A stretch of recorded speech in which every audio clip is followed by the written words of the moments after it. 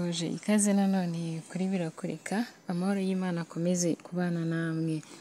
Iyo ucuruzanya n'umuntu muguma mwegeranye cyangwa amaseta yanyu yegeranye, inzu zanyu zegeranye n'iyo zitakegerana mukaba mufite ubucuruzi bumwe.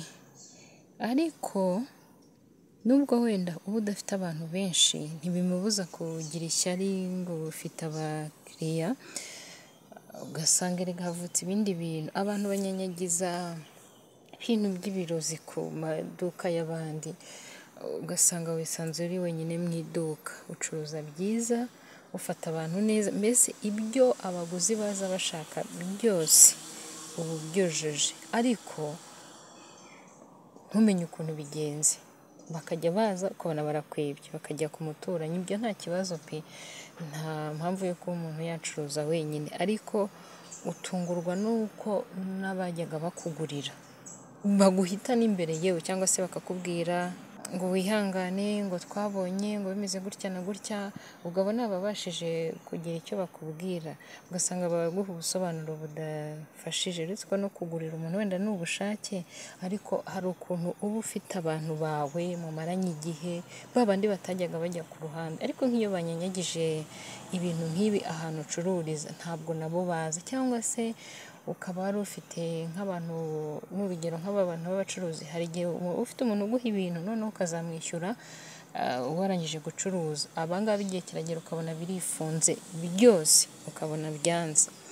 Cyangwa se si no ku bacuruzi gusa, ukaba ufite n'urugero nk'umuntu wakabaye akureberera, ariko ugatungurwa no kuba upfuye kumuhamagara akagufata nk'aho mbese agahora akujijisha, agahora akubwira utuntu tudafatika kandi ubizi neza ko hari abandi kuri rubanda nta kibazo.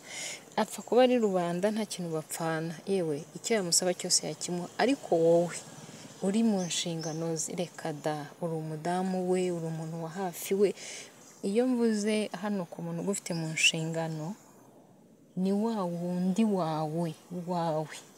Ni umubyeyi wawe, ni umwana wawe, ugasanga umwana wawe afite indi miryango yo muvukana cyangwa se yindi abantu afasha, ariko wowe reka da! Ntabwo yibuka kuri mama, nta nubwo yibuka kuri papa. Kuri rubanda nta kibazo ariko ku mubyeyi reka da!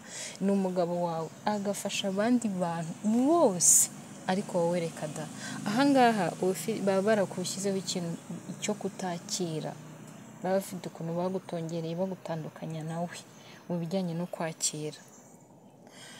Ni ukuvuga ngo ni umuntu ugufite mu nshingano, ntabwo ari umuntu uri rubanda, oya, nizere ko byasobanutse neza. Iyo ufashe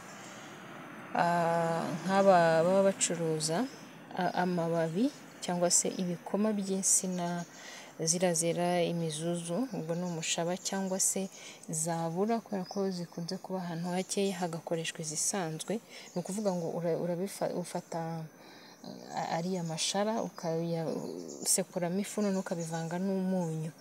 Ahantu uzi bakunda kunyanyagiza, wowe uragenda ukahanyanyagiza iyo fu ivanze n'umunyu. Niba ari isuku mukaza kuyikora, niba ari iki, nta kintu byangiza. Bo baza kubinyanyagiza ntibihure, ibyabo bikaburizwamo. Ikindi iyo ufashe amakara aya ngaya ducana, ushobora gufata rimwe ukarimanyuramo nka kane, ukayashyira wenda nko mu iguni ry'ahantu ucururiza cyangwa se muri parafo, kwa kundi batongera ibikorwa byawe, ni bizinesi yawe, ni resitora, ugashiduka usigaye uteka ukabyirira, ntabwo byongera, baratongera bikanga. Icyo ni icya kabiri. Icya gatatu kuri aba bantu, mujye mufata iminsi yo kwihumanura muba muhumanye, hanyuma ubwo mwakoresha videwo cya kiganiro nabateguriye kirimo ibimera bitandukanye byakifashishwa mu kwihumanura. Icyo cyavaho mugafata namwe ya makoma yo ku y'insina cyangwa se ku isanzwe, mukajya muyavugutira mu mazi mukayavanga n'umunyu uriya wo mu nyanja mukayakaraba, ibi byose biragenda pe! Ntumenye ko byigeze no kukubaho.